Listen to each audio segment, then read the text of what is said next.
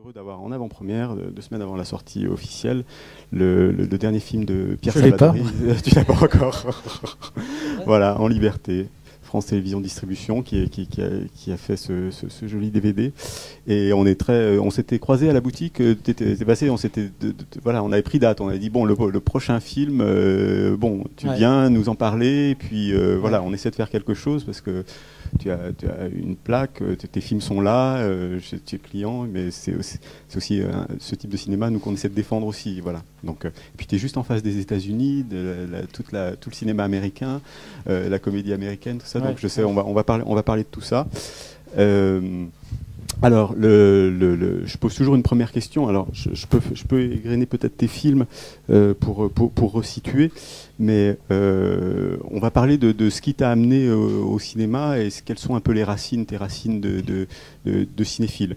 J'égrène juste ta, cinéphilie pour que tout le monde voilà. Que Donc euh, les longs métrages, 1993 hein, cible émouvante, 1995 les apprentis, donc cible émouvante avec Jean Rochefort, Marie Trintignant, Guillaume Depardieu. 95 les apprentis, François Cluzet, Guillaume Depardieu. 98, Comme elle respire, Marie Trintignant, Guillaume Depardieu, euh, Jean-François Stévenin. 2000, euh, euh, Les Marchands de Sable, Mathieu Demy, Guillaume Depardieu, Marina Golovine. Comment Comment Qui ça ah. Guillaume. Non. mais parce que Guillaume Depardieu, ça a été un. oui, ça, a été quelqu'un. Mais, les, les, Marchands de Sable, c'est Serge Gaboukine aussi qui a le premier rôle. Si, ah bah ouais, bah voilà, il n'est pas sur. oui, Serge Gaboukine, ils auraient dû le mettre. 2003 euh, Après vous, Daniel Auteuil, Sandrine Kiberlin, José Garcia. 2006 Hors de prix, Audrey Tautou, Gad Elmaleh.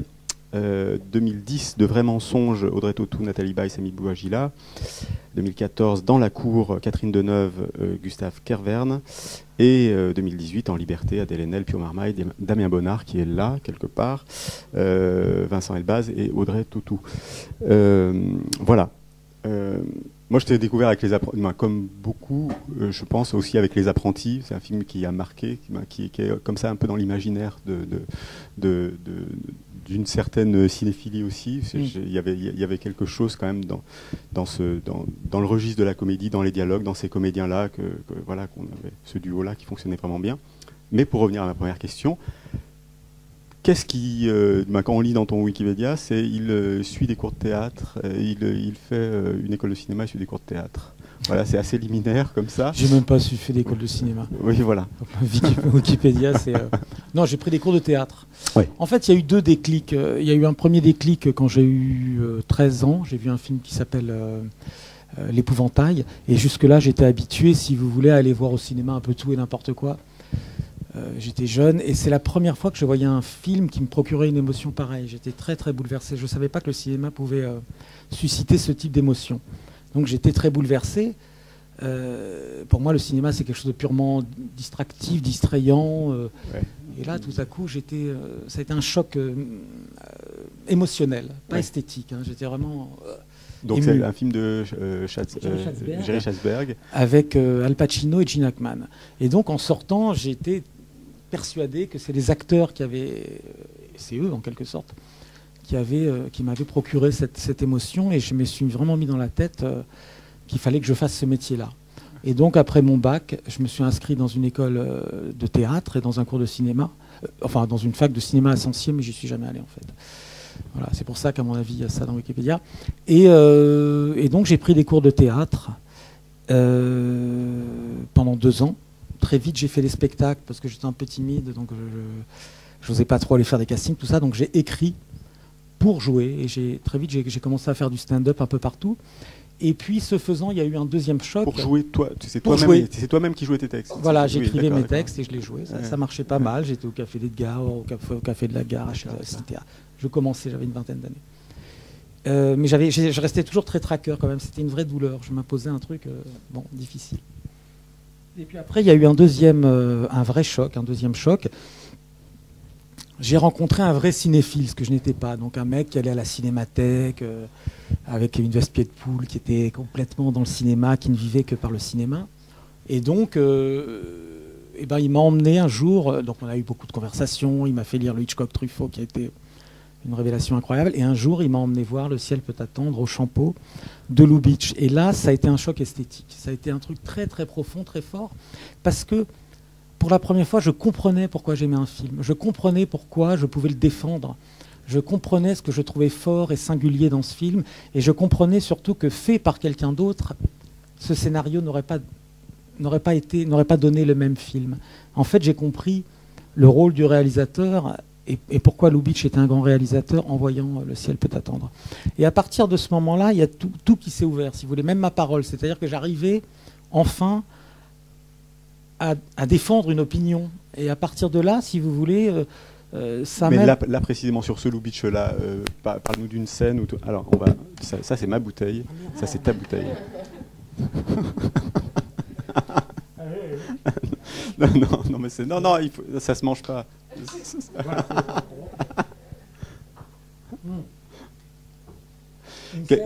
Une, scène ou quelque chose qui t'a marqué ou euh, Ce qui m'a marqué, c'est que. Pour ceux qui n'ont pas vu, par exemple, Le ciel peut attendre de Lubitsch. C'est que je comprenais. Euh, euh, sa façon de raconter, de dire, de faire, cette ironie permanente, ce jeu avec le spectateur, cette façon de suggérer les choses à travers les objets, derrière les portes, la mort du grand-père qu'on ne voit pas et on voit une, on voit une infirmière très belle sortir, on comprend qu'il est mort parce que c'est un, vieil homme qui aime les femmes et qu'on est déjà dans son. Voilà, si vous voulez, sa façon de suggérer les choses d'une façon assez délicate et poétique. Et élégante. Euh, et élégante. C'est pas là où c'est le plus marquant. Hein. Mais si vous voulez, c'est la première fois que je, que je voyais ça. Euh, la façon dont la mise en scène était déterminante, le langage, le ton, l'accent, si vous voulez, du film, sa façon de, de dire les choses était à ce point-là déterminante. Euh, après, je suis allé voir, euh, juste après, je suis allé voir euh, Serenada 3. Et là, ça a été. Voilà, j'ai trouvé un. j'ai trouvé. Vous savez, pour se comprendre, se connaître, et bah, souvent on regarde ce qu'on montre du doigt. Quoi. Ça m'a même aidé moi-même à, en apprendre un peu plus sur moi, si vous voulez, à me définir. Et voilà. je vais plus vous donner l'exemple d'une scène peut-être dans Serenada 3 parce que je vais plus décortiquer. Mais par exemple, dans Serenada 3, euh, c'est l'histoire d'une femme, je ne sais pas si vous avez vu ce film, mais c'est l'histoire d'une femme amoureuse de deux hommes. C'est aussi l'histoire d'une muse, hein, ce sont deux artistes. Et comme cet amour euh, pour ces deux hommes, eh ben, il, est, il est difficile à vivre, elle décide euh, d'en épouser un troisième. Et qu'elle n'aime pas vraiment, mais voilà, c'est trop de douleur, c'est trop de difficultés, c'est trop de... ça détruit ce qui était au départ une amitié dans la bohème à Paris, etc. Donc elle en épouse un troisième. Alors, euh, c'est le jour des noces, il y a un couloir, et au bout du couloir, il y a une porte, c'est la chambre euh, nuptiale, je crois qu'on dit comme ça. Voilà. Donc, euh, elle, elle longe ce couloir, il y a plein de fleurs. Et à un moment, elle s'arrête, elle voit un, petit pot de fleurs avec deux tulipes dedans. Et un petit mot. Oui, les tulipes. bon, donc elle prend le mot, c'est un mot un peu ironique, c'est eux deux qui se moquent d'elle. Et donc, euh, elle, est furieuse, elle jette le, mot et elle donne un coup de pied euh, dans le pot qui se renverse. La caméra la suit et elle entre dans la chambre. On reste sur la porte qui a claqué. Tout à coup, la porte s'ouvre à nouveau. Elle revient et elle remet les deux fleurs, les deux tulipes dans le pot. Et on comprend qu'elle les aime toujours. À ce moment-là, le mari arrive, il rentre dans la chambre. Pareil, on reste sur la porte. Euh, la nuit tombe, la nuit passe. Et là, la porte s'ouvre à nouveau, c'est le mari qui sort, et là c'est lui qui donne un coup de pied dans les, dans les tulipes, et on comprend que la, euh, que, la nuit n'a enfin que, le mariage n'a pas été euh, consommé, qu'elle n'a pas couché avec lui, et, que voilà, il comprend qu'il a compris qu'elle aimait les deux autres. Donc en filmant un pot de fleurs, il vous dit ce qui se passe dans la, dans la tête de trois, euh, on dira même de cinq, trois, quatre, de quatre personnages. quatre personnages. Voilà, et ce qui se passe derrière une porte il y a une ironie, il y a une confiance dans le spectateur et il y a le sentiment aussi pour le spectateur à travers les ellipses. Pour moi, j'ai vraiment théorisé cette idée que l'ellipse euh, vous, euh, vous, absorbe physiquement presque dans le film. moi, j'ai fait un, plan qui peut ressembler, enfin, jamais je volerai un plan à quiconque, mais où on voit vraiment l'inspiration directe, c'est dans Hors de prix, par exemple. Il y a une scène où Audrey Tautou rejoint euh, Gad Elmaleh au bar euh, oui, euh, non, c'est les. Euh, voilà. voilà. Elle lui sert un, il lui sert un cocktail, elle le boit cul sec et elle met une ombrelle, hein, une petite ombrelle dans ce qu'il y a sur les cocktails dans son chignon. et, elle repose le et elle dit un autre. Et là, on fait un cut et je suis au-dessus d'elle dans, le, dans l'ascenseur et il y a huit ombrelles euh, dans le truc. Et au fur et à mesure que le, l'ascenseur monte, moi je descends et j'arrive sur son visage. Donc si vous voulez, le, le spectateur en même temps précède le mm. plan, il attend de voir, il voit ensuite le visage d'Audrey. Et c'est pareil, j'ai eu le sentiment, j'ai ce sentiment que quand on coupe, si vous voulez, cet espace avant qui était très, qui est un millième de millimètre qu'on arrache à la pellicule, qu'on arrache à la pellicule, c'était cet espace réservé euh, au spectateur, une façon de faire rentrer le, spectateur physiquement presque dans le, mais le dans la mise en scène et dans le film. Mais dans la mise en scène, mais euh, dans le comique, ça, a un effet comique, ça a un effet dramatique. Comment est-ce que tu euh, pense que ça a un effet comique, même si le comique, euh, très souvent, il est basé sur la surprise. Hein. Moi, je pense aussi qu'il est basé sur la connivence. Hmm. Vous savez, il y a ce qu'on appelle l'ironie dramatique, c'est-à-dire le spectateur sait quelque chose qu'un des deux protagonistes ne, sait pas. Dans Comme elle respire, vous avez une jeune femme qui est mythomane, qui est malade, réellement malade. Et euh, elle se fait passer auprès de Guillaume Depardieu, qui est un escroc, pour une riche héritière. Et lui la kidnappe pour demander une rançon, et il s'acoquine avec deux mecs assez violents nous, spectateurs, on sait qu'elle est, qu'elle est folle et qu'elle est pauvre, mm. et Guillaume n'est pas au courant. Donc, euh, ça crée un, comment dire, une forme de suspense, mm. déjà, parce que vous savez quelque chose, de questionnement, qu'est-ce qui va se passer, et aussi euh, une ironie et une drôlerie, parce qu'on n'en sait plus que Guillaume, mm. et voilà, et ça provoque, si vous voulez, une, sorte de, de satisfaction qu'on peut pousser jusqu'au rire ou qu'on peut pousser encore plus loin physiquement jusqu'au jusqu'au fou rire. Parfois, il faut essayer de tendre aussi vers ça. C'est quelque chose qui est très important pour moi. À un moment qu'une comédie, qu'une comédie euh, j'essaye vraiment beaucoup ça, d'aller presque vers l'hilarité, pas uniquement vers le sourire ou le. Je me dis que si on accepte et si on pense que la comédie, si on la, euh, si on l'accepte comme étant une forme d'art, eh bien, euh, le fou rire, c'est presque une extase. C'est un truc au moment où le corps est complètement, comment dire euh, pas soumis, mais enfin euh, à un rapport euh, très puissant, si vous voulez, à l'image. Oui, tout à fait.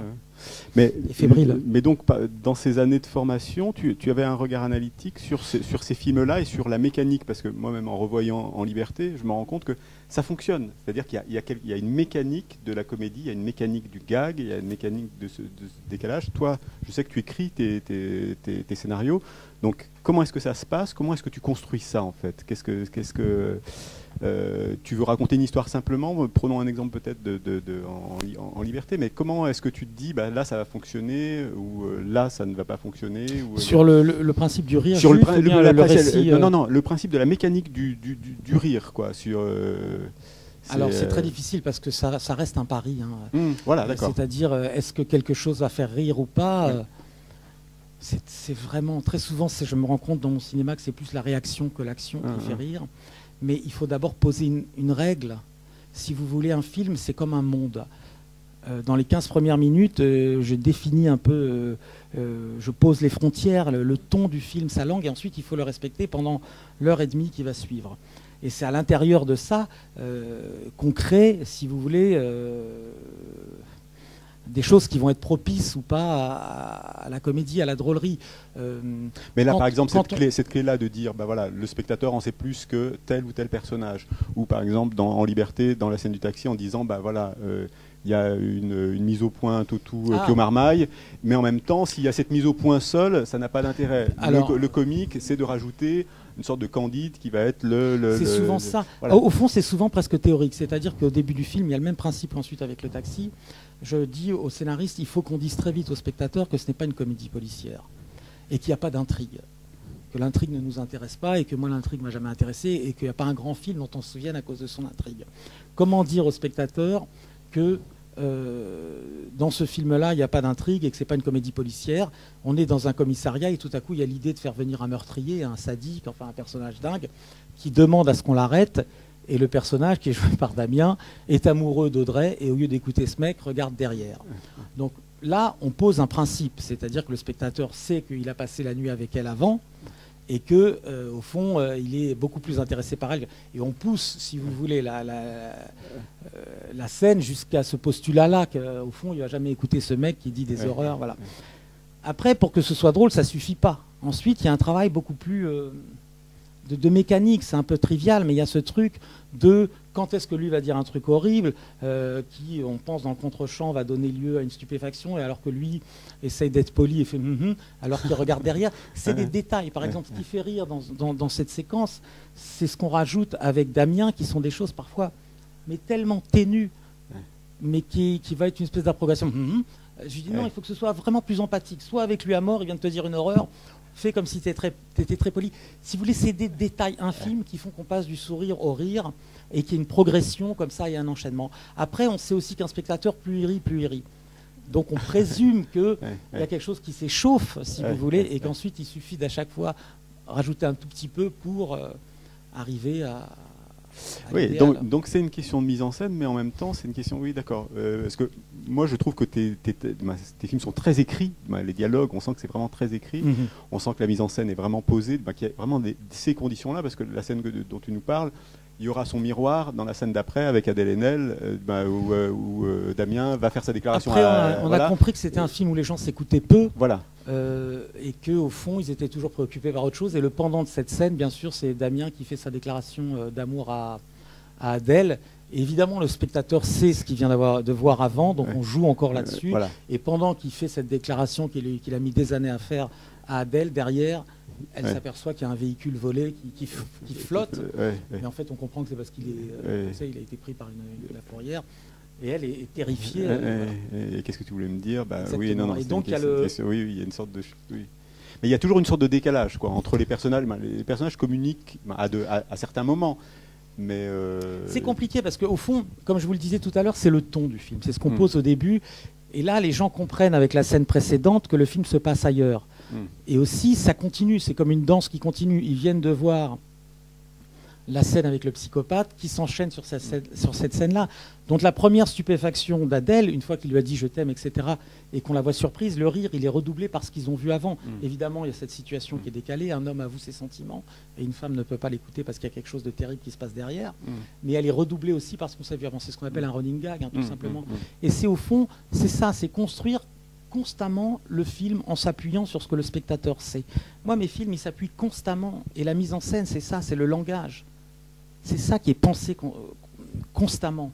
Euh, c'est comme dans un film de suspense, c'est comme ce truc quand Hitchcock décrit euh, dans Soupçon la scène où Cary Grant avance vers la porte mm. euh, avec le verre de lait et, tout le monde se dit mais qu'est-ce qui se passe mm-hmm. Qu'est-ce qu'il y aura derrière la porte Pour détourner cette attention, il met d'abord des chiens devant pour pas que les gens se disent merde, qu'est-ce qu'il y a derrière la porte Ah, il y a sûrement quelque chose. Il détourne l'attention avec des chiens qui font peur. Hop, euh, il éloigne les chiens, il ouvre la porte et là le truc arrive. Mm, mm. C'est constamment une danse et un jeu où on présuppose et où on précède la réaction du spectateur et on joue avec lui et où on le surprend finalement avec ce qu'il attend.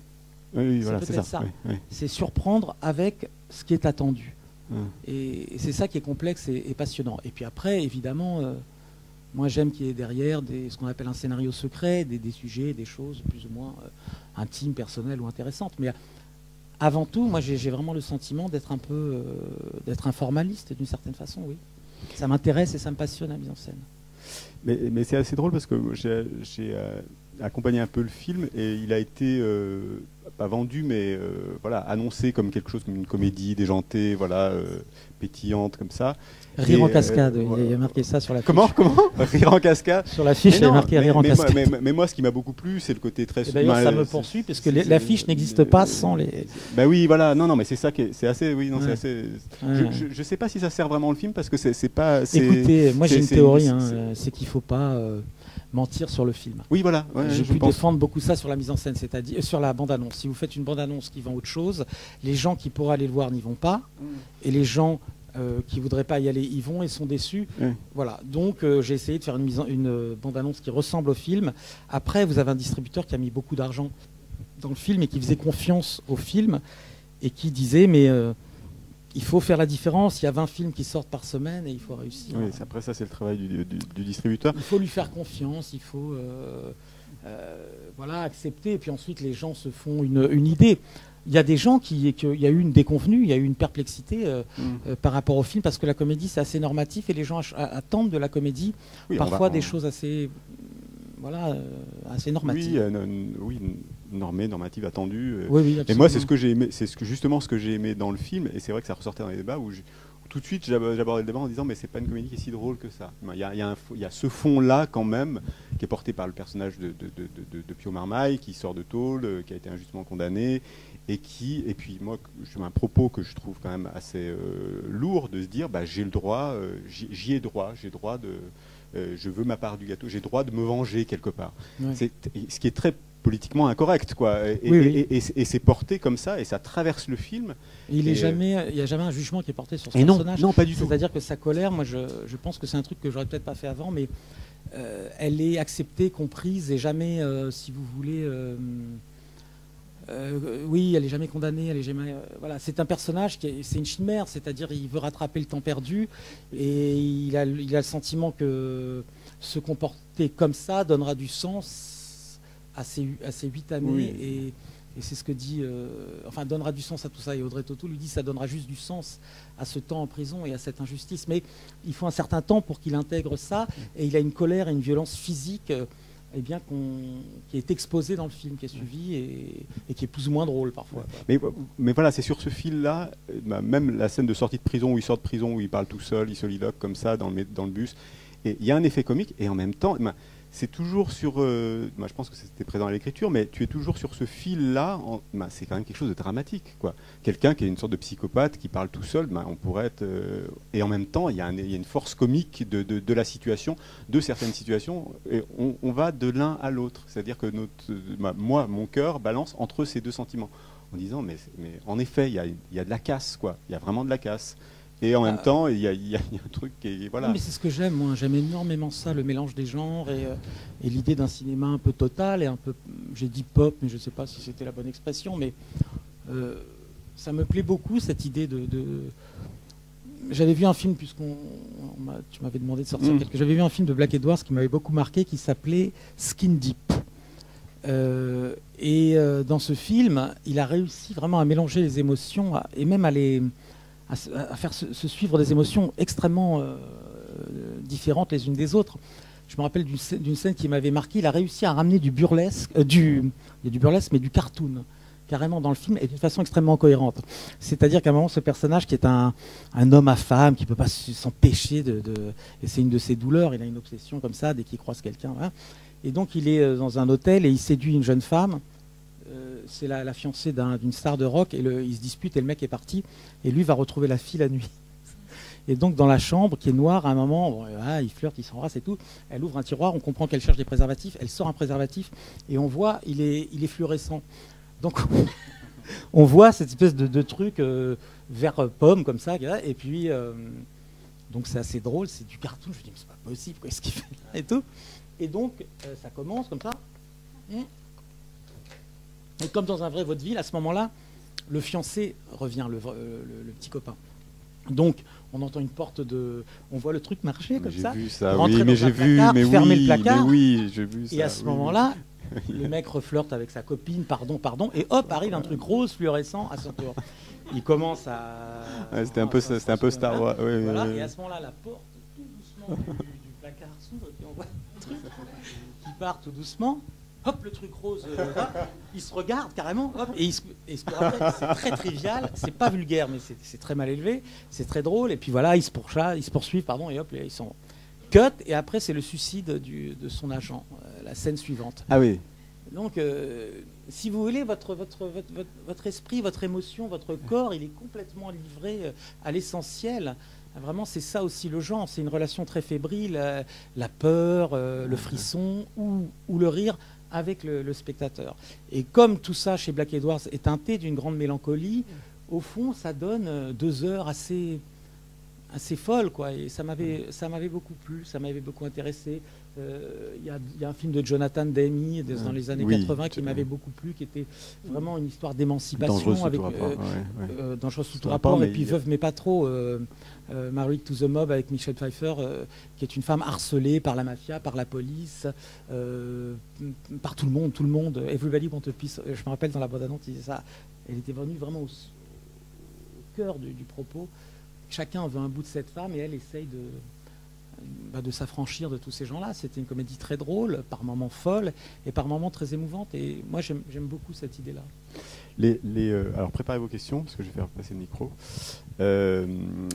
moi, ce que j'aime, beaucoup aussi l'articulation ou le, le, le Excusez-moi, j'ai la gorge sèche. Ah, je pas bien une petite bière en fait. D'accord, ouais, bien sûr, bien sûr. Pardon.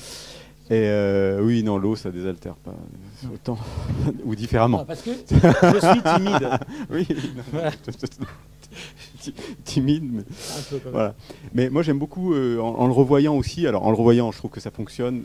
Euh, alors, il y, a plein de choses. Alors, déjà, quand on va dans une salle de cinéma, c'est déjà drôle de, de voir quand on rit et, on ne rit pas en même temps que. Ben, il y a toujours des, parfois des décalages. Oui, il y a des surprises parfois. et parfois, les gens rient pas du tout là où j'avais alors, Voilà, voilà. Alors ça, ça c'est intéressant. Merci beaucoup, c'est très gentil.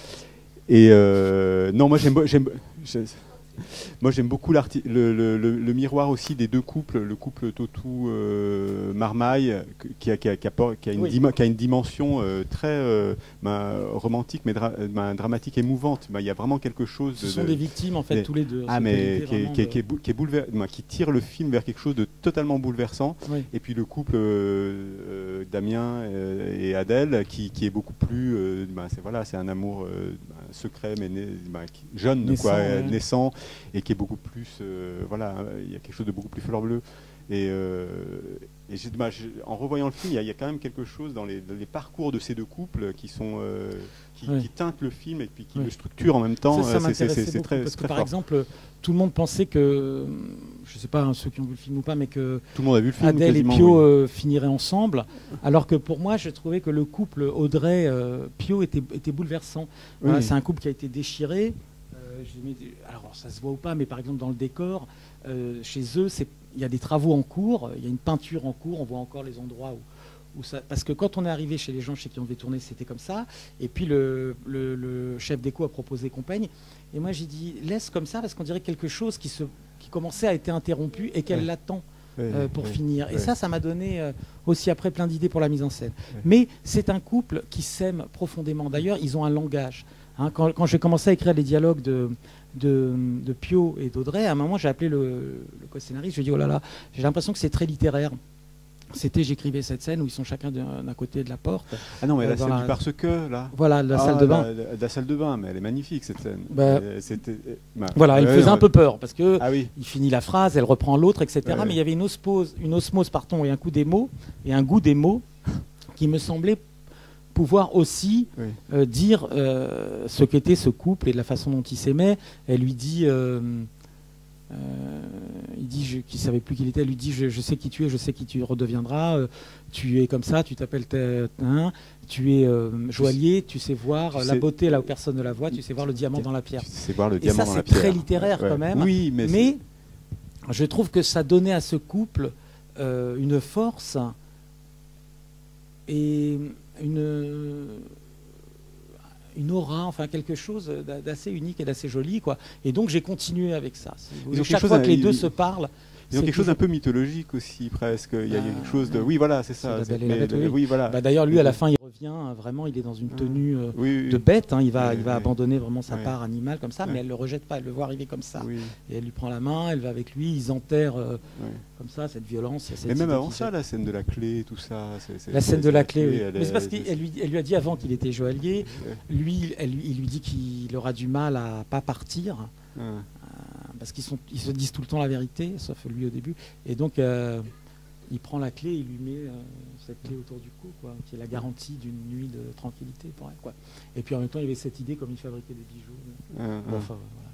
Mais euh, oui, oui, c'est un couple. Et donc, c'était très important pour moi qu'ils finissent ensemble. Et je me, je me souviens qu'Audrey m'a dit qu'elle lisait le scénario. C'est un second rôle, parce que je ne pouvais pas lui donner le rôle d'une flic. Elle n'est elle est pas assez.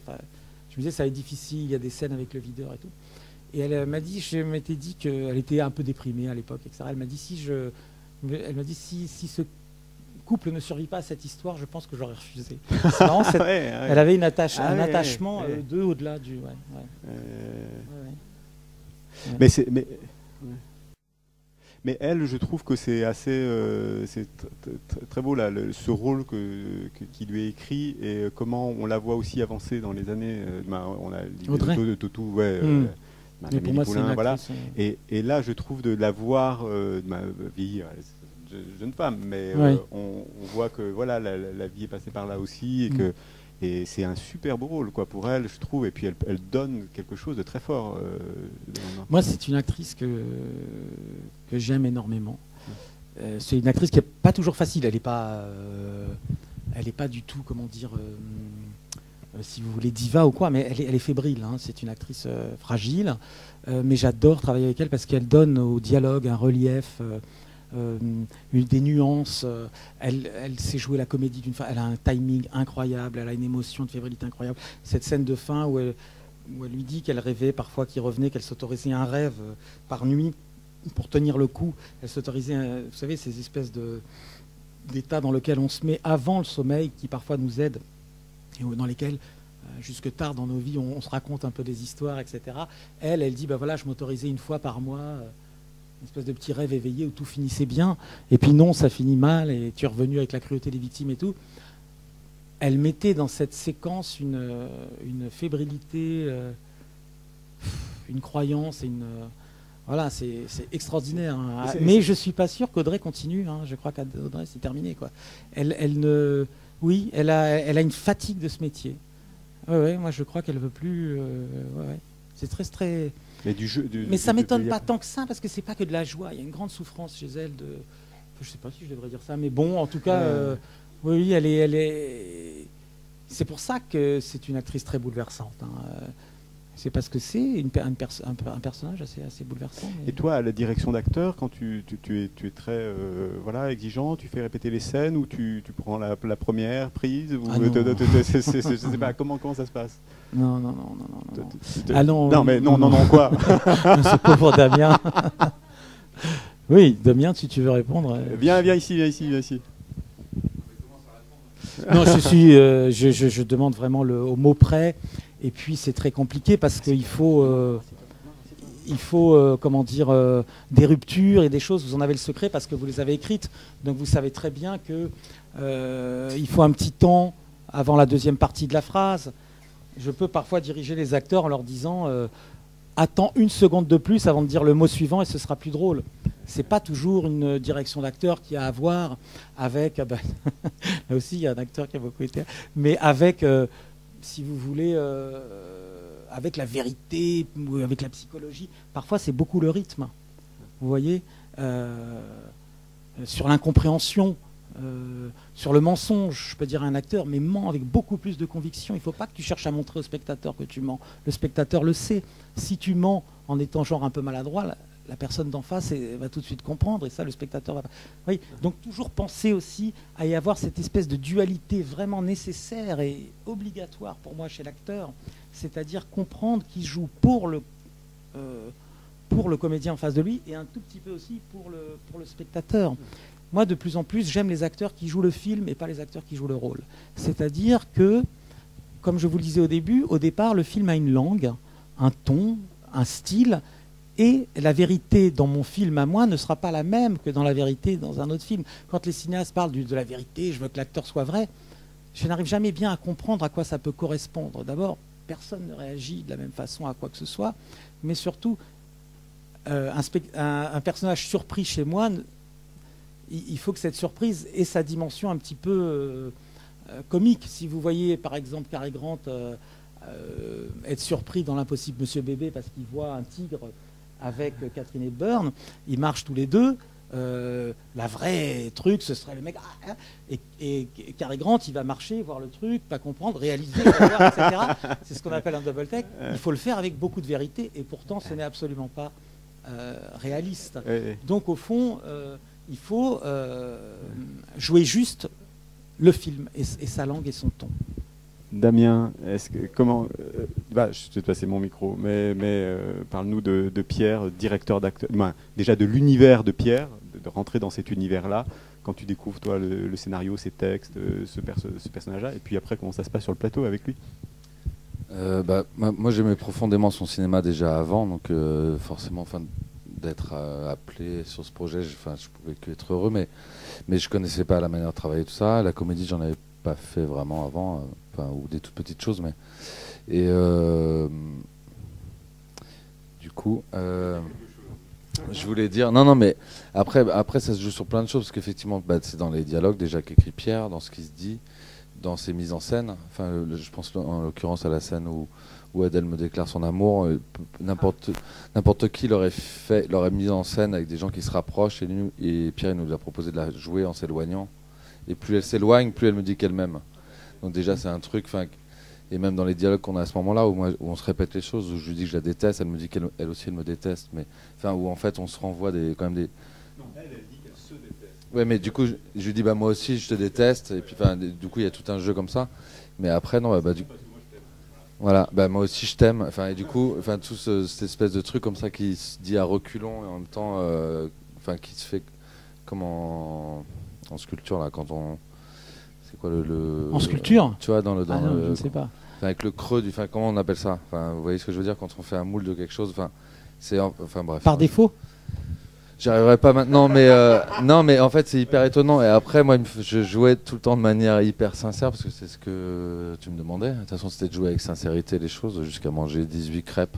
Ouais, en négatif, en négatif, mais finalement c'est le positif. Vous voyez ce que je, ouais. Euh, mais euh, non, c'est, bah, moi la double tech, j'en avais jamais fait. C'est toi qui m'as appris.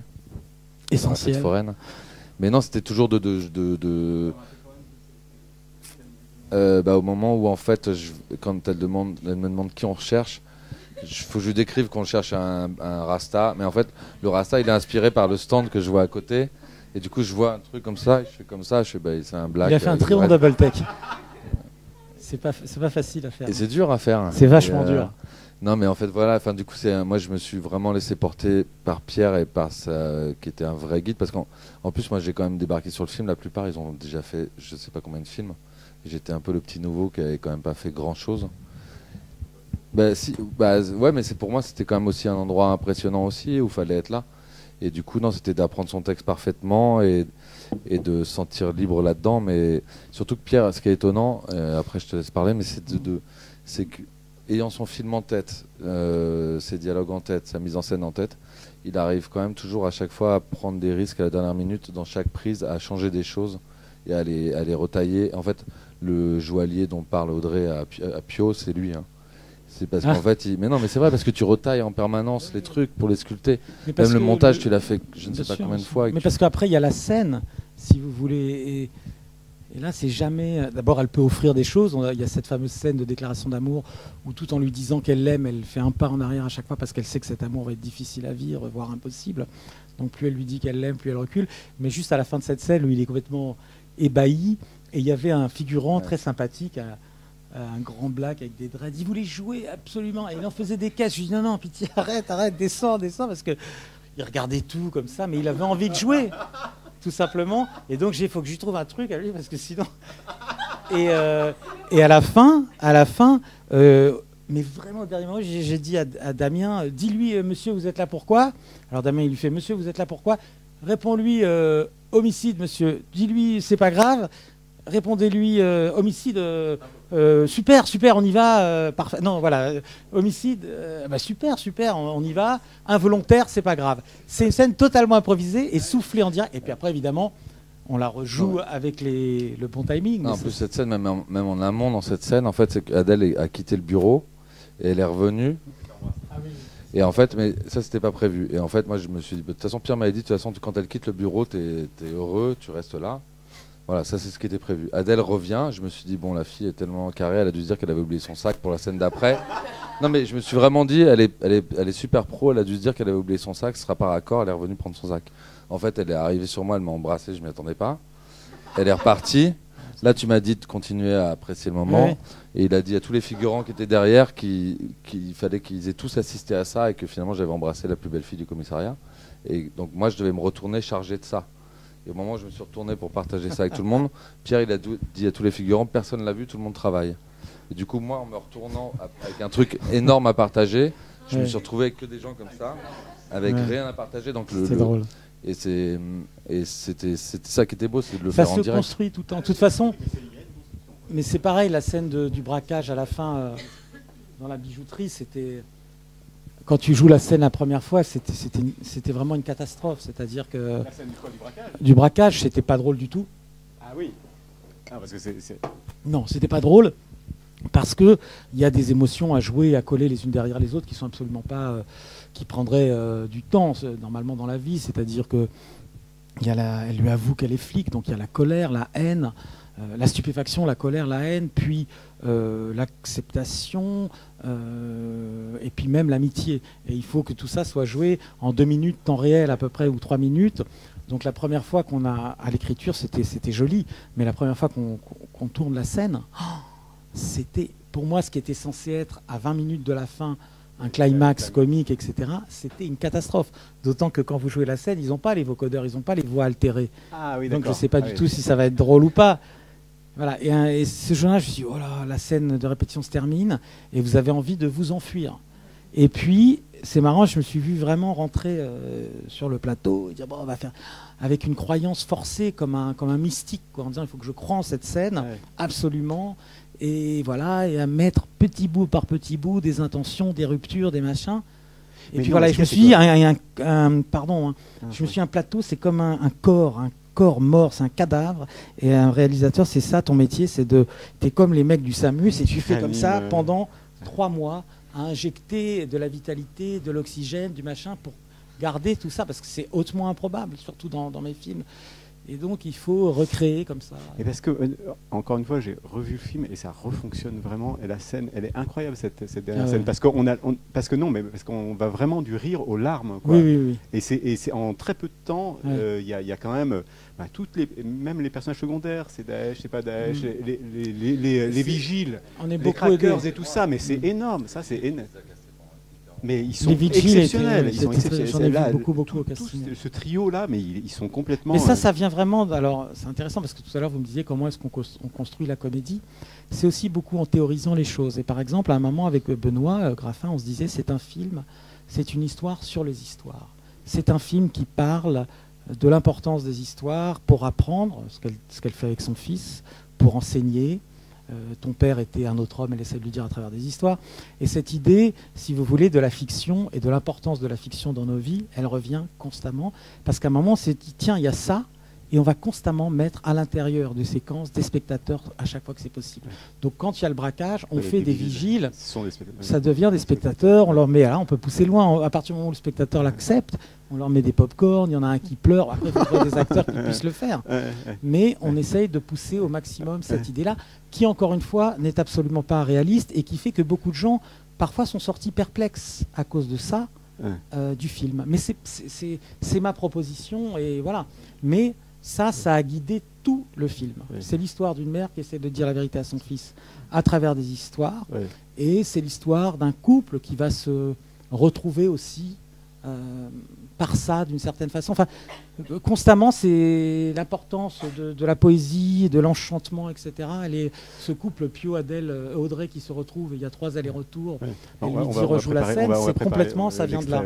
On va, on va montrer ça justement sur ça, parce que moi, c'est ce qui me touchait beaucoup dans le film, c'est bah, parce que ça parle aussi de cinéma, enfin, ça parle de, au, enfin, au fond du fond, il parle de plein de choses, le film, mais il y a Pio à un moment qui dit à la fin justement de la scène, un bijouterie, que c'était faux, mais que c'était bon. Non, c'était beau, mais c'était. C'était faux, mais c'était bon, oui. Et qui résume le film, mais qui est un truc. Euh, enfin, toi, t'en as parlé souvent, cette idée aussi de réenchanter le monde, quitte à ce que ça soit un peu too much. Enfin, par exemple, je sais pas, enfin, pour aller déclarer son amour à une femme, au lieu de lui envoyer un SMS, peut-être que monter par la gouttière et par trois balcons, c'est un peu too much. Mais au final, c'est ce qui restera et ça sera un truc un peu fou, mais un peu beau, mais qui. Et, c'est dans, tout le film, il y a ça quand même. Et cette idée-là, moi, que je trouve un, oui, il y a une confiance et une nécessité euh, de, du geste poétique ou littéraire ou tout ce que vous voulez. Voilà, c'est cette scène qu'on avait retenue, mais euh, euh, quand Pio Marmaille sort de prison et, va retrouver, euh, et va retrouver Audrey. Elle, elle est en train de faire le ménage et elle n'est pas prête, si vous voulez, pour une émotion. Je te propose qu'on voit la scène ah, et puis après, parce qu'on on, la voit. Et puis peut-être une question euh, avant le temps qu'on prépare l'extrait. Oui. alors une autre question. Bonsoir. Euh, je juste savoir, euh, Damien, si tu as passé, euh, enfin c'était une question con, mais est-ce que tu as passé le casting simplement pour le film? Et après, ben, Pierre, comment vous choisissez concrètement vos comédiens quoi? Alors, euh, ouais, moi j'avais rencontré Pierre une fois ou deux avant par un, ami réalisateur en commun, mais voilà, on s'était croisé comme ça deux fois par Sylvain Desclous, avec qui j'avais travaillé, et avec qui Guillaume aussi a bossé. Et euh, voilà, on se connaissait pas plus que ça. Et puis après, j'ai passé le casting avec Philippe Elkoubi, qui est mort depuis et qui n'a pas pu accompagner le film avec nous, mais euh, qui a fait le casting de ce film. Et c'était le directeur de casting. Et j'ai fait un premier essai avec Philippe Elkoubi et une comédienne qui était venue donner la réplique. Et puis la, deuxième, la seconde fois, Pierre était là et on a fait les essais ensemble pour justement pour, trouver ce rythme, qui est un rythme hyper particulier que moi-même, enfin le trouver seul, je pense pas que ce soit possible. Enfin, j'aurais pu trouver un rythme, mais qui serait pas forcément celui du film. Et du coup, on l'a fait ensemble. Et après, euh, tu m'as appelé, je crois, le soir de mon anniversaire pour me dire ce que je faisais, je crois. mais euh, ouais.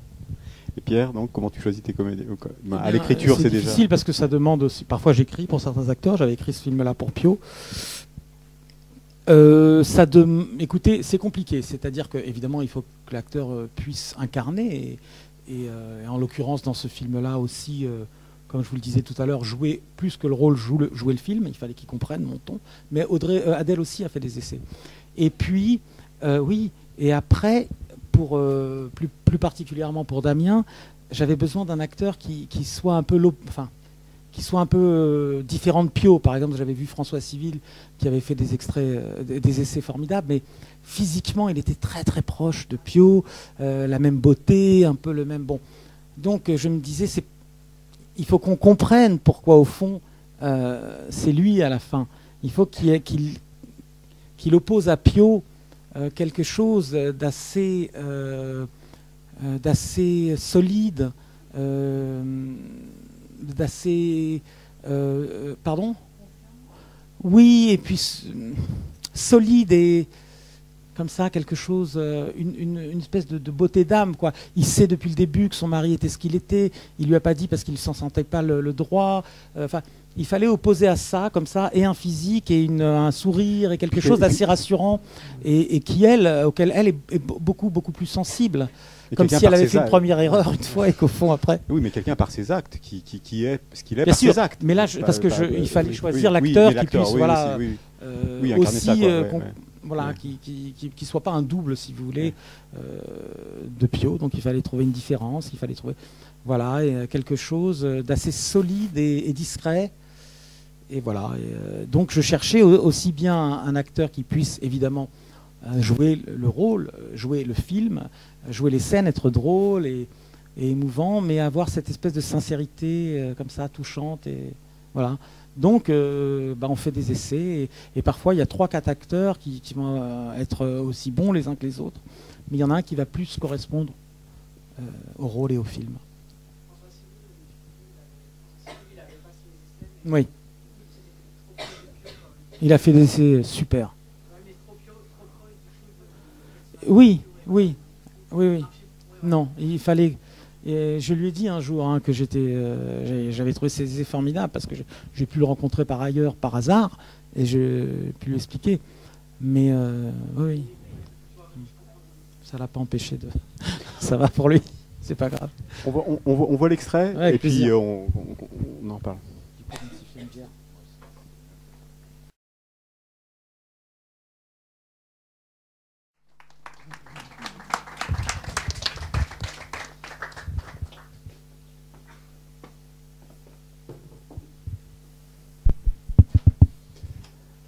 Euh, ben, quand on revoit une scène comme ça, on voit aussi, euh, ben, encore une fois, ça fonctionne. Ben, le talent des acteurs qui est quand même, euh, qui sont dingues, quoi, et l'un et l'autre. Et au niveau de la construction de la scène, c'est quand même très complexe, quoi. C'est-à-dire, le, qu'est-ce que tu choisis de filmer? Qu'est-ce que tu, quand la musique intervient? Le point de vue d'Adèle Haenel qui rentre en main. Il y, a, quand même toute une progression dans la répétition comme ça mm. qui, est quand même, euh, qui est quand même assez. si vous voulez, en fait, c'est intéressant parce qu'il y a des retrouvailles, donc on, filme des retrouvailles. Après, il y a cette idée que parfois il est, il est, il est nécessaire de se. On peut ne pas être prêt pour une émotion. Et je trouve cette idée intéressante parce que ça, elle peut rejoindre plein d'autres trucs par rapport au quotidien, par rapport. bref. Donc lui, Pio arrive. Adèle, euh, Audrey pardon n'est pas prête et elle, lui demande de ressortir et de recommencer. Donc déjà le fait qu'il accepte, c'est un acte d'amour et de croyance, si vous voulez, dans ce qu'elle lui propose. C'est-à-dire qu'elle lui propose un geste poétique. Elle lui dit fais quelque chose, on sait l'un et l'autre que, cette chose-là n'est pas la vérité euh, au fond factuelle, mais que ça va, euh, si, vous, si vous voulez, créer une émotion qui, elle, va être réelle et, puissante et, d'un ordre plus poétique et, plus beau. Donc on fait des premières retrouvailles, un peu surprenantes, donc là c'est la partie un peu comédie. Moi je voulais que ce soit trois fois, le producteur était dans tous ses états. quoi. Est-ce qu'avec la première scène, repousser le truc trois fois? Mais si je ne le pousse pas trois fois, il n'y a pas de geste, si vous voulez. Deux fois, bon il n'y a pas quelque chose qui est dessiné ou qui est euh, euh, asséné ou qui est proposé. Il y a une petite variation. Donc bon, il ressort. Et après, ça devient intéressant parce qu'après, elle lui dit euh, recommence.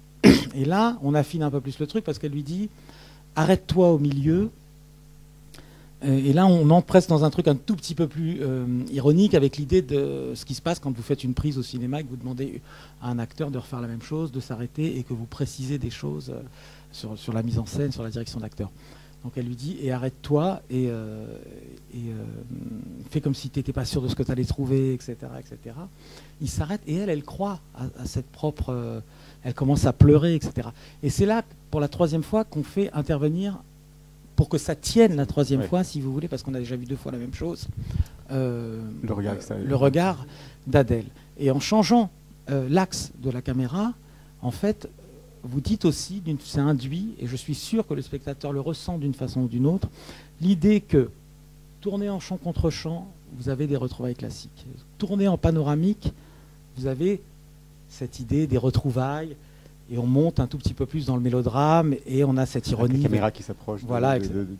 et la troisième fois, en changeant d'axe et en filmant exactement la même chose, mais simplement en mettant la caméra d'un autre côté, on a de la comédie. C'est-à-dire que on a un regard de quelqu'un qui ne comprend pas ce qui se passe, et la candeur et l'innocence de ce personnage, alors que les spectateurs savent très bien ce qui se passe, crée de la comédie. Donc, dans cet axe-là, un mélodrame, et dans l'autre axe, avec la même séquence et la même scène, on, lui ajoute une nouvelle dimension qui est, une dimension euh, comique. Enfin, voilà. Et ça, ça, dit beaucoup sur la mise en scène et sur le choix, et comment, au fond, euh, la place de la caméra, le ton, etc. Comment on peut filmer la, même scène euh, et, avoir des émotions. Et, un point, et ça, au fond, ça dit l'importance du point de vue. Parce que faire un film, c'est avoir un point de vue sur une histoire. Donc voilà, et cette scène-là, moi j'en suis très heureux parce que en même temps, elle fonctionne dans le film. La musique aussi, qui, Alors voilà, et après, dans le, à la troisième prise, entre guillemets, j'avais dit aux, aux musiciens, à Camille Basbas, j'avais dit là, il faut vraiment qu'on dise et qu'on suggère cette idée de cinéma dans le cinéma, cette importance de la fiction qui revient constamment. Et fais-moi une musique de film. C'est pas une musique de film, je veux l'idée d'une musique de film, c'est-à-dire ce qui est pour tout le monde. Et donc, on a, je lui avais demandé d'écouter Delru beaucoup, parce que j'avais le sentiment que dans l'inconscient collectif, quand même, ça, Delru, c'est quand même euh, ça. Donc il nous a fait, c'est la seule fois où c'est un peu à la manière d'eux, pour les retrouvailles euh, euh, des cordes et du piano, des arrangements comme ça. Belle leçon de cinéma. elle est bien cette, scène-là, j'en suis content. Ah non. Euh, j'ai beaucoup aimé la liberté de votre film et votre regard. Et j'étais très émue jusqu'au moment où j'ai complètement décroché. C'est pour ça que je voulais le dire ce soir. L'histoire du masque à la fin. J'ai pas compris où vous alliez. Ça m'a semblé durer une plombe, mais peut-être que, que je n'aime pas tellement les déguisements au cinéma.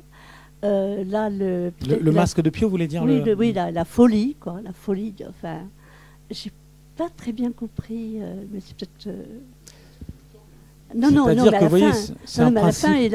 non, c'est ce que je, je, dis un peu depuis. impossible, un bijouterie, enfin.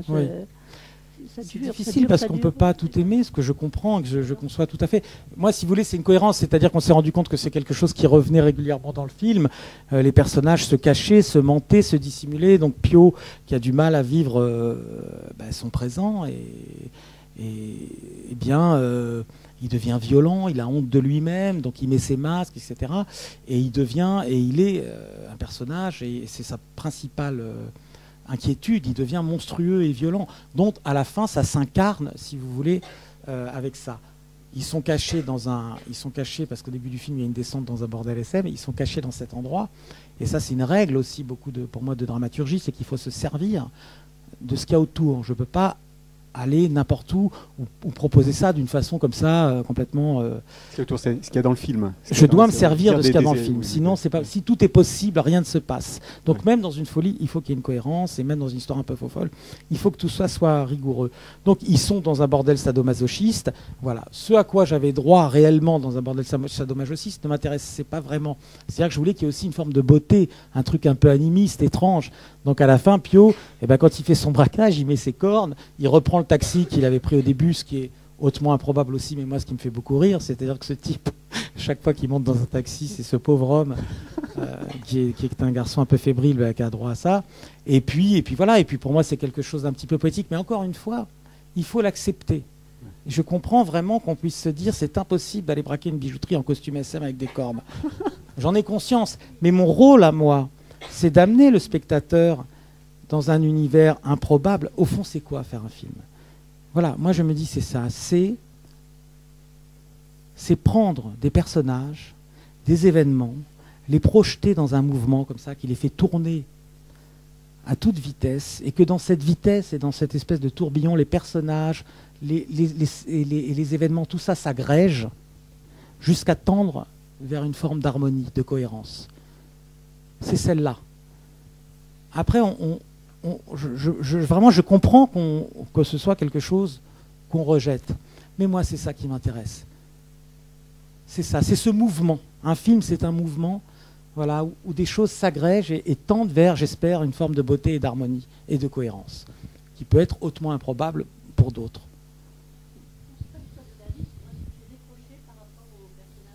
Oui. Non, je comprends. La seule chose que je puisse dire, c'est que je suis désolé, mais après. non, mais c'est vrai, parce que je comprends, parce que je comprends qu'à un moment on puisse dire attends, c'est quoi? Mais euh, voilà, je. moi, je trouve ça. Je, vraiment, je le conçois tout à fait. Je le conçois. C'est pas incohérent par rapport au personnage. Ce qu'il c'est qu'il est dans sa cohérence de. Dans, mais ni, ni, ni, au ni au personnage ni au film, parce que c'est un tout, si vous voulez. Dans un autre film, on se dirait voilà, il y a ah quelque chose qui pas. Là, pour moi, c'est vraiment cette idée mm. de d'aller vers quelque chose d'un peu. Euh, oui, d'un. Et puis c'est annoncé, il le dit ce braquage avec euh, c'est tout, tout est annoncé, ces masques qui commencent à les mettre, non, à mettre des, ton, des voilà, C'est le ton du film. Vous voyez Pio euh, avec son sac poubelle, puis après avec son sac. Voilà. Moi, je, bah, je, après, je vais passer le micro encore, mais le, ces retours, là, ce qu'il donne à Audrey Toutou, c'est la façon dont il reçoit le texte et son regard comme ça. Moi, je, ouais, ouais, je trouve il est incroyable. ah non, mais moi, pour moi, il, y a, moi, je sais pas comment euh, tu as travaillé avec lui, ou comment tu l'as fait travailler, ou comment lui s'est préparé à ce rôle-là.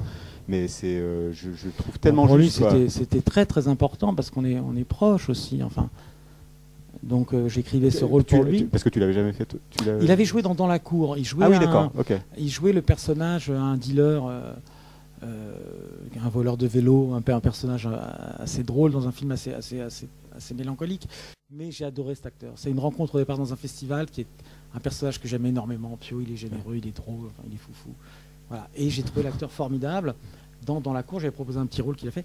Et du coup, j'ai écrit celui-là pour lui.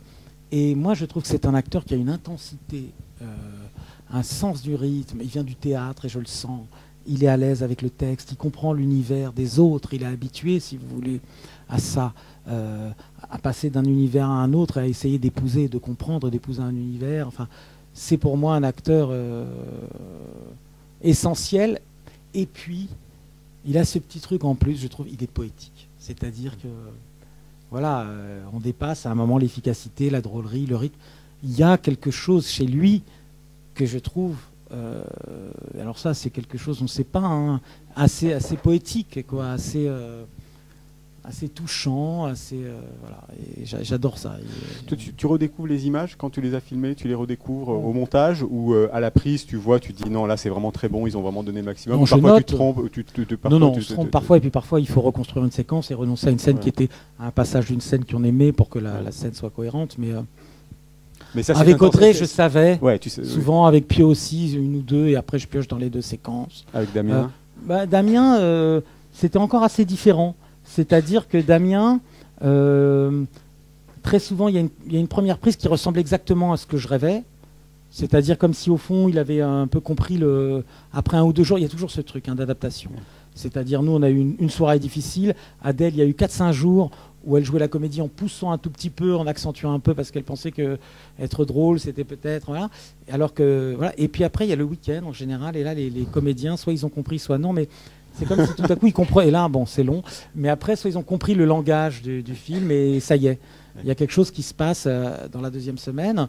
Donc euh, chacun et voilà. Et Damien, par exemple, dès le lendemain d'une soirée qui avait été longue et difficile, le pauvre. Euh, alors une scène beaucoup plus compliquée avec la bagnole, freiner, repartir, enfin, il y avait des, contraintes techniques, etc. c'était parfait. Et là, vous savez plus quoi dire parce que vous avez à peu près tout. Donc quand même, il faut essayer de gagner un peu plus. Donc après, c'était intéressant de d'aller chercher à un ou deux endroits des petites choses en plus. voilà ça, dépend vraiment des, comédiens. Ce que j'ai compris avec ce film, j'avais compris avant qu'il ne fallait pas assommer les comédiens d'indication. Première prise, deux, trois trucs, pas plus. Parce qu'au-delà de deux, trois phrases, ils n'écoutent plus. Voilà, on les saoule. Non mais c'est normal, parce que si vous faites vous-même le point si vous voulez, sur le projet avec l'acteur en lui disant Bon, écoute, là, c'est super bien parce que n'oublie pas que c'est ta mère, donc euh, elle sait finalement qui tu es parce qu'elle te connaît depuis très longtemps, mais en même temps, c'est un moment où, au fond, etc. Donc, si tu lui dis ça, il faut pas que tu sois brutal parce qu'elle sait que. Mais... Et puis finalement, rappelle-toi que quand même, l'acteur, c'est terminé. Si vous lui dites, euh, je sais pas. Euh, vous lui en voulez beaucoup, mais il vaut mieux pas lui montrer parce qu'elle va pas bien en ce moment. Bon, top, et puis c'est tout. Voilà, et, vous, et après, bon, voilà. Après, moi, j'ai un système aussi, j'ai une, une, ardoise magique, c'est-à-dire que avant, j'écrivais, ça dépend des comédiens. Audrey, possible. C'est-à-dire que j'avais avant, je prenais des notes sur le papier pendant la prise, parce que pendant la prise, évidemment, les acteurs proposent des trucs qui vous donnent des idées. Donc je note, mais ça faisait du bruit. Audrey, le moindre bruit, euh, terminé, quoi. Comme ça. C'est lui, c'est lui. Bon. Donc après, j'écrivais sur mon bras. Ah oui, d'accord, ok. Et un jour, j'ai eu cette idée idiote du, du Véleda, quoi. Et donc, je, je prenais mes notes comme ça.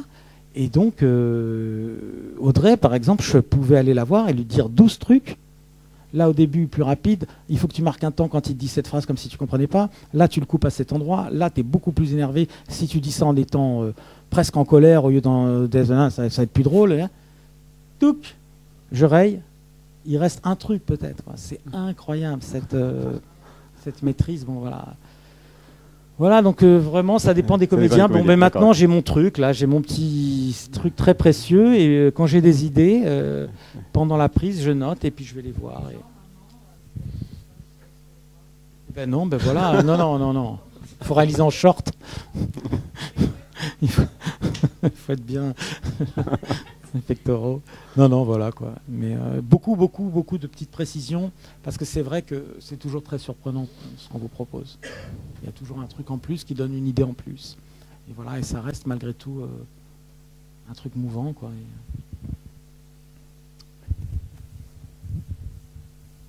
Euh, j'ai lu que vous partiez souvent d'idées de, films dans le film ou de la rencontre entre, de trajectoire entre vos personnages et je voulais savoir euh, à quel moment est-ce que toutes, toutes ces idées, parce qu'il y a plusieurs, euh, plusieurs histoires qui se rencontrent, euh, à quel moment est-ce que ça apparaît vraiment comme un tout cohérent pour vous?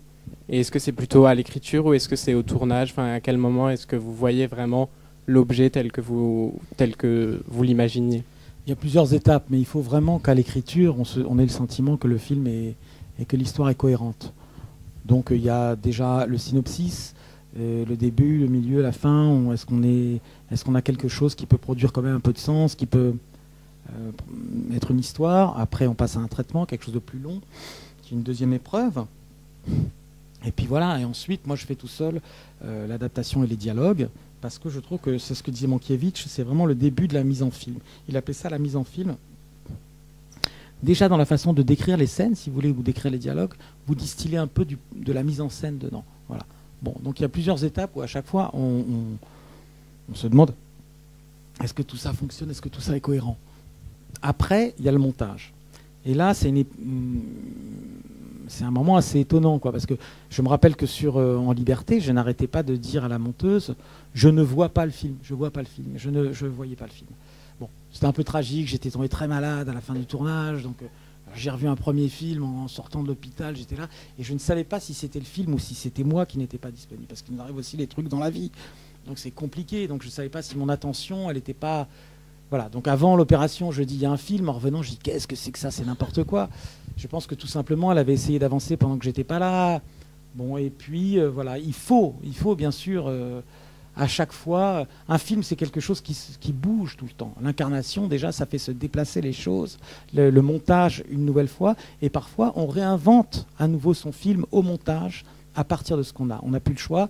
Voilà, il y a des choses qui apparaissent qui n'étaient pas prévues. Et, ça peut. Euh, voilà. Après, euh, c'est un peu empirique. Hein. vous savez, on est vraiment à.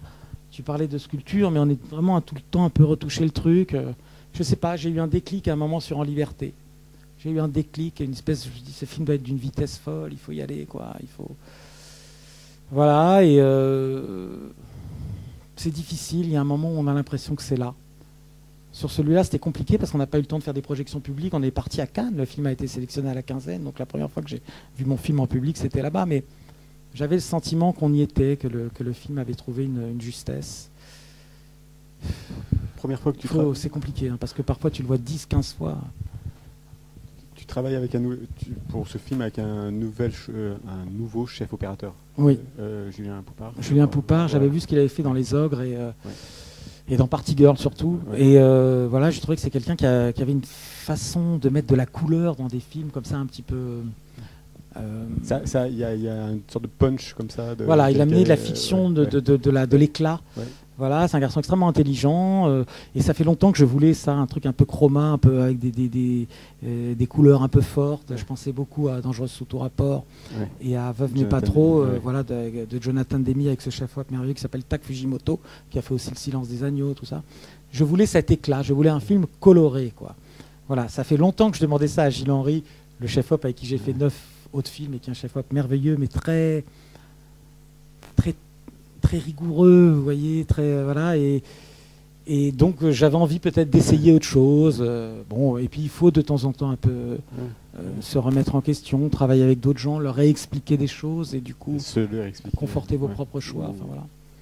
C'est important de d'autres générations d'acteurs, d'autres d'autres techniciens. C'est très très important. Ça, j'ai mis du temps à comprendre ça, mais parce que euh, par exemple, euh, Julien, il croyait beaucoup à l'épaule, constamment. Caméra à l'épaule. Caméra à l'épaule. Et donc, euh, il y avait certaines séquences où Adèle sort du commissariat, elle va jusqu'au. À la, truc de pizza. Je dis, mais c'est pas possible, Julien, mais tu peux pas documenter le plan de l'intérieur comme ça constamment. Il faut croire en la mise en scène.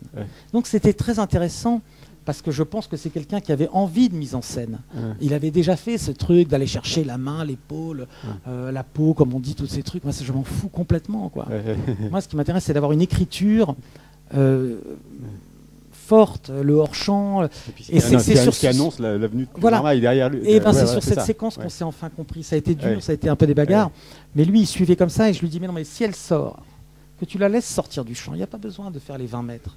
Le spectateur, il n'a pas besoin d'avoir marché d'un point A à un point B. Mais si elle sort du champ, tu coupes. Que tu montres Pio, parce qu'on va faire un panneau comme ça, et on s'aperçoit qu'il est là, et elle sort du champ, et on voit qu'il est là. Quand tu la récupères euh, en train de dire euh, une reine sans champignons, c'est beaucoup plus intéressant euh, si tu as vu Pio avant. Parce qu'une reine sans champignons, en soi, c'est pas passionnant.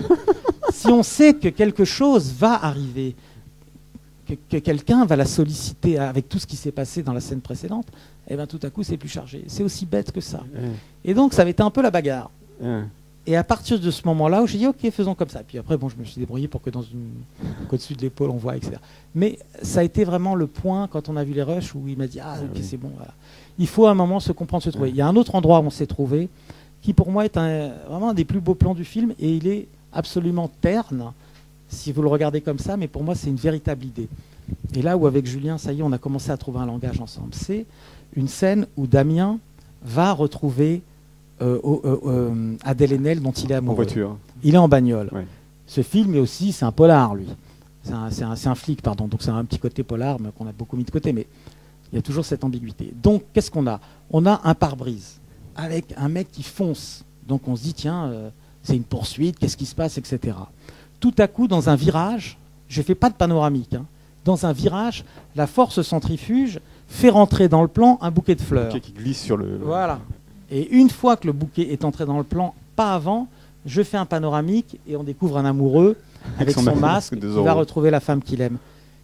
C'est pas pareil que de faire la route, un panoramique sur le mec avec son masque et ses fleurs. Ce n'est pas du tout la même chose. Si le plan mute lui-même et que sa vérité apparaît par elle-même, sans quelque chose qui soit volontaire, c'est pas élégant. Tandis que si dans le virage, ça sert fort, d'ailleurs on a eu un accident, et oui parce qu'il fallait faire rentrer les fleurs.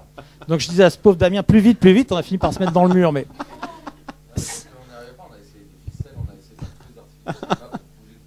Ah oui, d'accord. Là où le plan pouvait marcher, c'est la Et oui.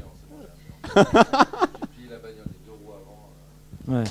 Et l'œil du chef-op. Ah, ah, Donc si vous voulez, là le plan, il est, il est juste. Et une fois qu'on a le bouquet de fleurs, on est surpris parce que ça entre au gauche cadre et que le plan, le plan se révèle tout seul comme étant euh, un plan d'un autre ordre qui appartient à, quelque chose de plus romantique et tout.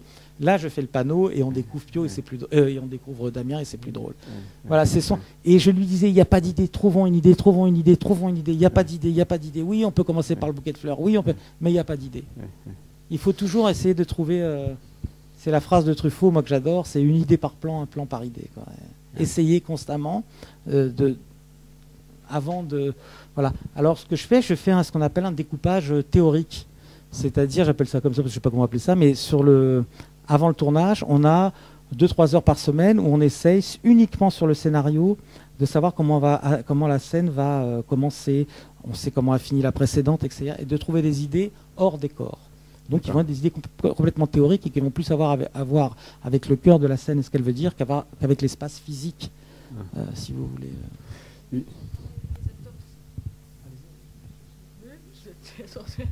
Vous faites ce travail aussi avec les acteurs, c'est-à-dire travailler avant le tournage, quoi? Non. Non? J'ai jamais voulu faire ça. Ah. Pourquoi? Ah. J'ai toujours peur qu'on ait des idées. Euh, alors moi, j'ai un côté un peu des fois. Par exemple, j'ai longtemps cru que, par exemple, on avait un stock d'idées dans la tête et qu'après, vous voyez, euh, elles s'en vont. puis, alors qu'en fait, les idées, plus on en a, plus elles viennent, etc. Mais j'ai toujours eu peur. Je me dis que si on fait avant et qu'il y a plein de trucs et qu'on n'arrive pas à les reproduire après, je vais être dans une frustration à essayer de refaire ce qu'on a trouvé avant. J'ai pas la nécessité euh, de trouver la psychologie des personnages avant, etc. ou de les plonger dans une atmosphère qui soit celle réelle d'un commissariat pour qu'ils comprennent les gestes. C'est pas mon travail. Moi, j'ai plus un truc différent, si vous voulez, qui va être sur le texte pur, sur le rythme. Voilà, donc euh, non, j'ai jamais fait ça. J'ai jamais fait ça. Je, trouve que c'est bien de construire ça sur le plateau. Ça me plaît beaucoup, ça. Oui. Oui, bien sûr. Ce qui est formidable, moi je pense qu'un grand acteur, c'est un acteur qui inspire. C'est-à-dire, bon, qui joue bien tout ce que vous voulez, mais le grand acteur, c'est celui qui à un moment va vous donner des idées. C'est-à-dire quand vous commencez à, penser que vous écrivez pour lui, les idées arrivent. Donc en écrivant pour Pio que je connais, voilà. Mais si vous voulez, si j'ai écrit un scénario et puis qu'en plus après j'ai choisi mes acteurs que je vais passer une semaine avec eux, j'ai pas le sentiment que ça va m'amener beaucoup de choses. En plus peut-être que je me trompe, c'est ma méthode. Bon. Euh, peut-être qu'il faudrait que j'essaye ça une fois. Il y a un truc que j'aime beaucoup faire, c'est lire avec tout le monde. Euh, pendant la préparation, on, met, on a une grande table et on met tous les acteurs autour de la table, tous. Euh, les vigiles, Pio, Damien les, grands rôles, les petits rôles, et on lit le film. Quelqu'un la script ou l'assistant lit les didascalies, et puis chaque acteur joue son rôle. Et là, du coup, on s'aperçoit, je me rappelle que sur les apprentis, ça avait été très intéressant parce qu'on s'était rendu compte que il y avait des, parfois euh, des scènes un peu trop longues. Ou, vraiment, j'avais changé d'écriture. Au niveau du rythme, pour le coup. Ça m'avait, on avait découvert des choses. Donc je le fais depuis assez régulièrement.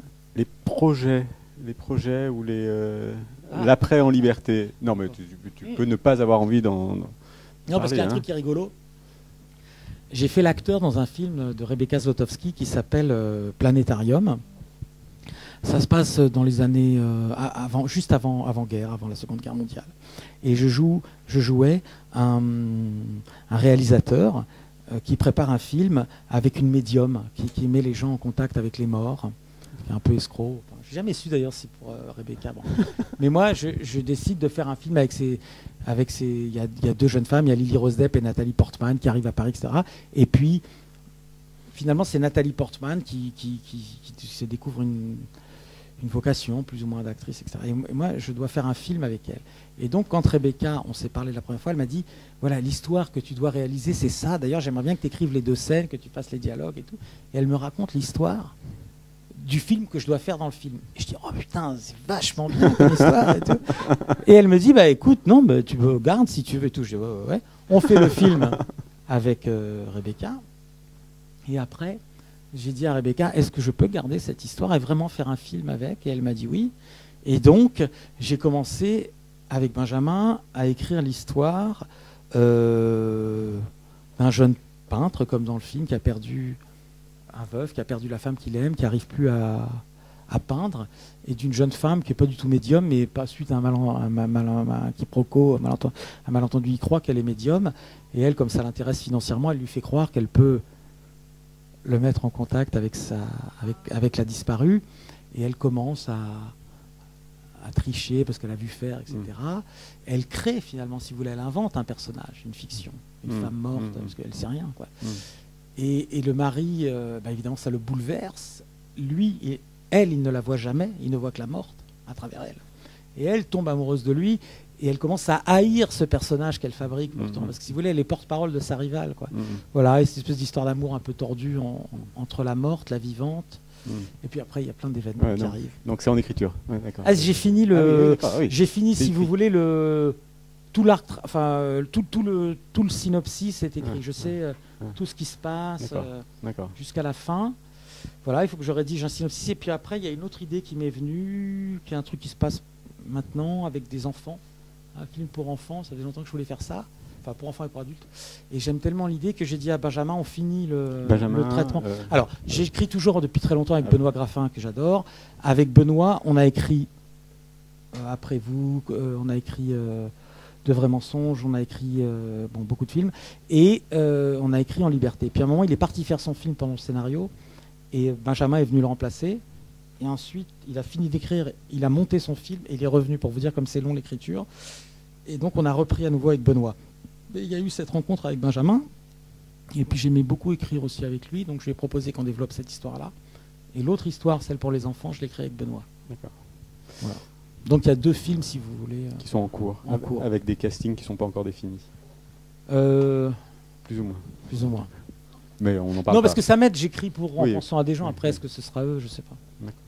On va s'arrêter là, Pierre, pour qu'on ait le temps de la dédicace et tout ça. Donc, il y a un petit, je veux mettre en avant le, un super bouquin, Pierre Saladori, le prix de la comédie. Euh, il y a une interview de toi. Il y a toute une première partie sur la comédie euh, américaine, comédie sophistiquée. Euh, Nicolas Télop, Quentin Mevel et C'est des entretiens. C'est des entretiens. un entretien par film. Par film, voilà. Mm. Et c'est génial parce que ça donne des clés. C'est pas cher, c'est 8 euros. C'est la CRIF, voilà. C'est pas pour moi. Non, c'est pas voilà. Et sinon, le DVD où il y, a des, euh, il y, a des bonus, il y a un entretien, et des scènes coupées, tout ça. Donc euh, voilà, que tu euh, pourras dédicacer. Voilà.